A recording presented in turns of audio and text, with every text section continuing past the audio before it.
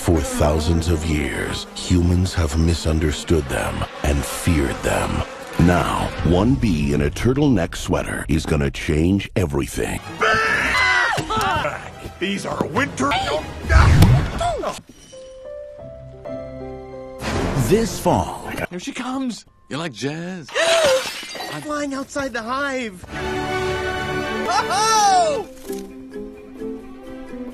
Yeah, very carefully. Jealousy. yeah. Not bothering anybody. Get out of here, you creep! Lady Hercules is this? How did this get here? It's just honeyberry. A lot of stealing. Cute bee. Golden Blossom. Ray Liotta Private Select. It kind of is. Across the nation. You almost done? Oh, you're gonna start ah! talking. Give you big. You, sir. Ah!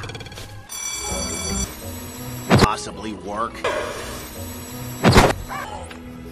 Then, if we're lucky, we'll What happens here? talk to them. But then there was a dust bot. Hi, tire spacing.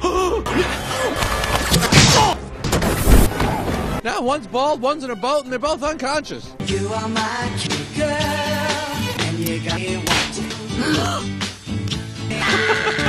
DreamWorks Bee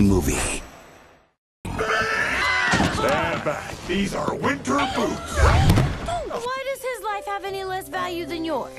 This fall, I gotta say something. You're like jazz?